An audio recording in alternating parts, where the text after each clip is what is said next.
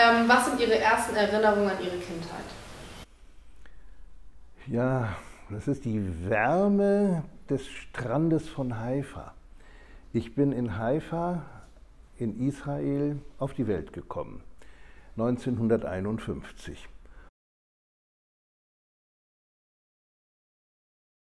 Meine Mutter hat mir viel darüber berichtet, warum sie als junges Mädchen sich entschlossen hat, ähm, ja, zu der Gruppe Menschen, heute würde man sagen, gezählt zu werden, die unbegleitete Flüchtlinge heute genannt werden. Sie wollte gerne Deutschland verlassen und die einzige Möglichkeit, die es für sie gab, war ähm, mit einer Jugendgruppe, Jugend Aliyah nannte die sich, das ist ein Ausdruck, der im Hebräischen äh, bedeutet Aufstieg in ähm, das gelobte Land, mit einer zionistischen Jugendgruppe nach ähm, Palästina, dem damaligen britischen Mandatsgebiet Palästina, zu gehen. Ähm, andere Möglichkeiten gab es nicht. Ihre Eltern waren strikt dagegen. Sie wollten auf gar keinen Fall, dass dieses junge Mädchen das Zuhause verlässt. Und sie hat mir immer davon berichtet, wie ihr Vater, den ich nie kennenlernen konnte, weil er nämlich wie andere Menschen aus diesem Teil der Familie in Auschwitz ermordet wurde, ein paar Jahre später. Also wie ihr Vater ihr immer versuchte zu sagen, na ja, die Nazis sind jetzt erst mal ein, zwei Jahre an der Macht, drei Jahre an der Macht wurde es dann langsam, ne, von 33 bis 36, von 1933 bis 1936 zog sich also diese Erfahrung meiner Mutter hin, zwischen ihrem 13. und 15. Lebensjahr ungefähr. Also mein Großvater sagte ihr immer, äh, eigentlich meinen die gar nicht uns, uns deutsche Juden meinen die Nazis gar nicht. Die, die meinen die Juden aus Osteuropa ähm, und nicht uns. Guck mal, ich habe doch im Ersten Weltkrieg, er sagte nicht Erster Weltkrieg, weil da sprach man nur vom Weltkrieg, weil der zweite war ja noch nicht gekommen. Also ich habe doch im Weltkrieg meine Knochen fürs Vaterland hingehalten. Ich habe doch für den Kaiser gekämpft.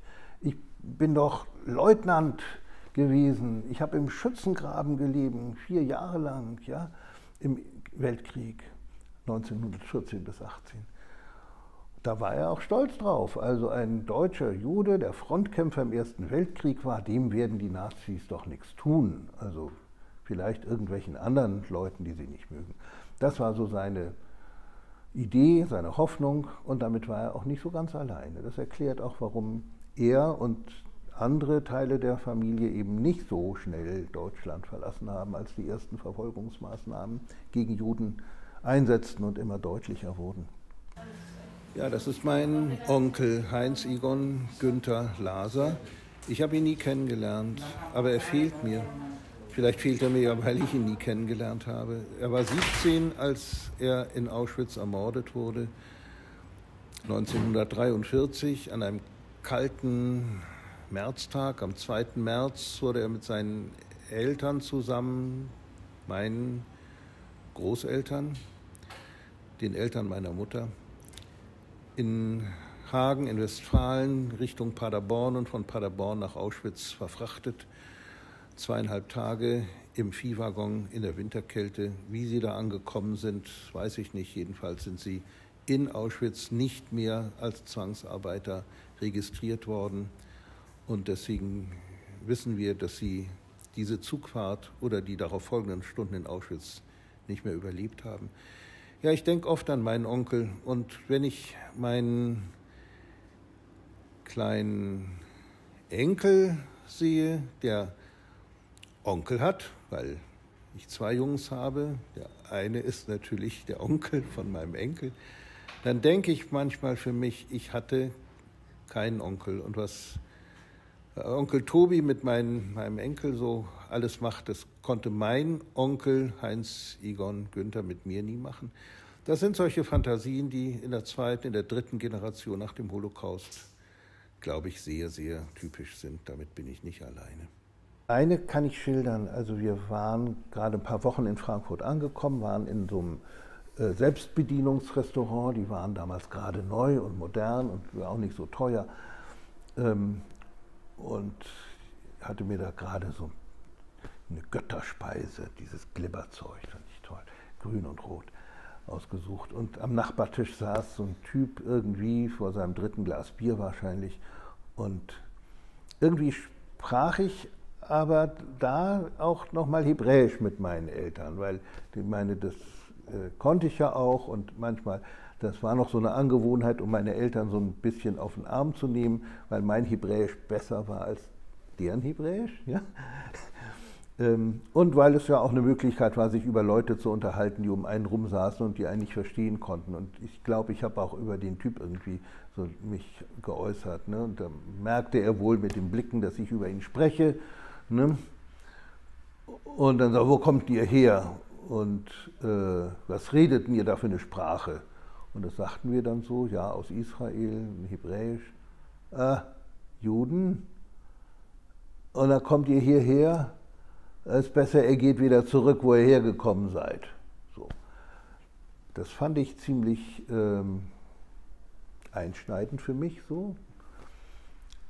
Und von da ab habe ich dann in der Öffentlichkeit in Deutschland kein Hebräisch mehr gesprochen. Weil ich dachte, also wenn man damit hier auch noch bei blöden Leuten blöd auffällt, dann äh, halte ich mich da zurück. Das war so eine Erfahrung, die ich sozusagen mit dem heutigen Bewusstsein als äh, antisemitische Erfahrung für ein Kind wohl auch ganz bedeutsam werten würde. Sonst muss ich wirklich sagen, habe ich bewussten oder, oder gezielten Antisemitismus so nie wahrgenommen. In der Erinnerung, wenn ich so manche Situationen zurückverfolge, äh, die sich in den 50er Jahren abgespielt haben, ja, da glaube ich, haben manche Leute einfach ganz vorsichtig und zurückhaltend äh, sich mit den jetzt plötzlich in Deutschland wieder ähm, auftauchenden wenigen Juden beschäftigt. Ähm, also es gab keine konfrontativen Erfahrungen, das, aber schon so eine, ein, ein bleiernes Schweigen auch über die Vergangenheit, das gab es. Jetzt haben Sie ja eigentlich Ihr ganzes Leben in Deutschland verbracht. Und würden Sie ja sagen, dass Sie jetzt selber ähm, noch Judenfeindlichkeit oder generell ähm, Antisemitismus in Deutschland? Also ich persönlich zum Glück nach wie vor nicht. Aber wir lesen ja alle Zeitungen, wir sind ja alle medienaktive äh, Menschen. Und man kann die Augen nicht davor verschließen, dass es nach wie vor oder inzwischen vielleicht sogar mehr noch als vor einigen Jahren ähm, Aktivitäten gibt, die judenfeindlich sind, antisemitisch sind, die ähm, sowohl verankert sind in den Kreisen der alten und neuen deutschen politischen Rechtsparteien und Nichtparteien, recht, rechtsgerichteten Individuen, die sich organisieren, wo und wie auch immer. Und es gibt natürlich auch durch den starken Zustrom von Menschen aus muslimischen, arabischen Ländern ähm, etwas, was ähm,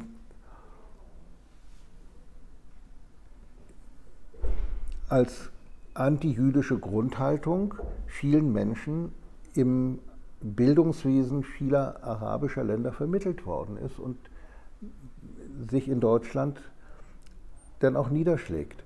Also ähm,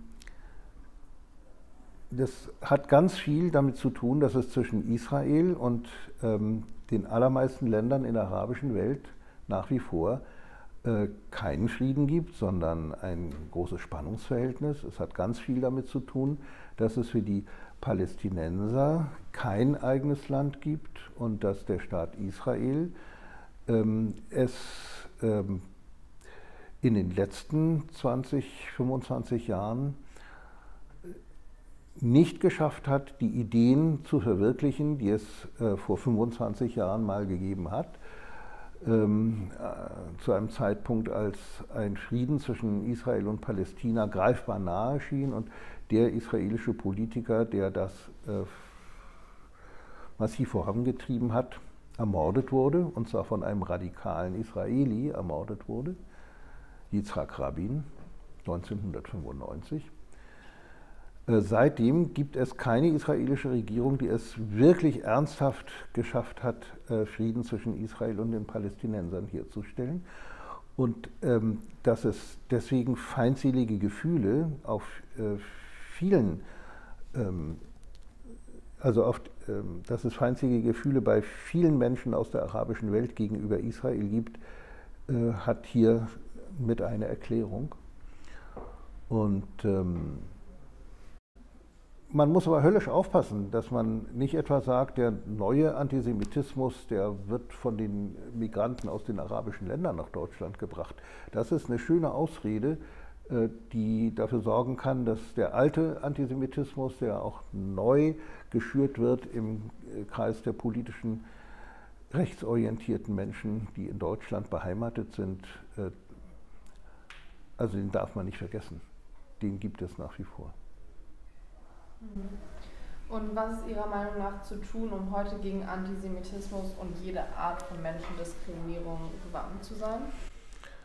Ja, Antisemitismus ist wirklich ein Teil von Menschendiskriminierung. Und ähm, ich, ich versuche immer deutlich zu sagen, also Auschwitz, diese Massenmordfabrik, in der äh, Millionen von Menschen, vor allem, aber nicht nur Juden, ums Leben gebracht worden sind, Auschwitz ist kein jüdisches Thema und es ist auch kein deutsches Thema. Das ist ein Menschheitsthema.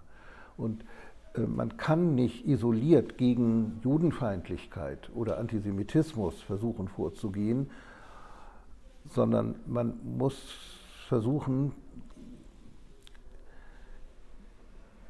den Gedanken bei möglichst vielen Menschen zu wecken und zu stärken, dass wir alle auf diesem Planeten Menschen sind mit ja, gleichen Rechten auf Leben und Respekt. Und ähm, wenn sich am Ende tatsächlich möglichst viele Menschen darauf verständigen, dann brauchen wir über Antisemitismus oder Judenfeindlichkeit gar nicht mehr zu reden, weil dann hat sich das Thema von alleine erledigt. Ja, also das waren alle unsere Fragen. Ja. Vielen Dank. Ja, ich danke euch für das Interesse und sehr, sehr für diese vielen Fragen. Ja, jetzt wird's Genau, zum Synchronisieren.